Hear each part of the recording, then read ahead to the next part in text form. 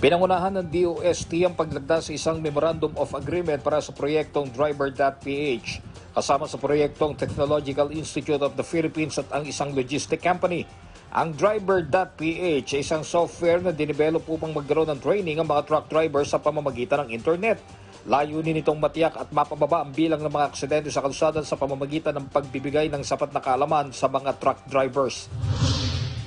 Ipinagdiwang naman ng DOST Freebox ang milestone inauguration ng ikaisandaang Philippine Strong Motion Network sa Tanay Rizal ngayong araw.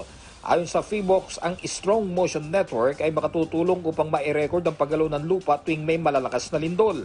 Taong 1992 nang sinimula ng proyekto at noon ay may apat pa lamang na Strong Motion instrument sa Metro Manila. Target nilang sunod na matayuan ng mga high-tech earthquake monitoring devices ang bayan ng Baler sa Aurora, Malolos, Bulacan hanggang sa malagyan ng strong motion instrument ang bawat lugar sa bansa. Den Makaranas, para sa bayan.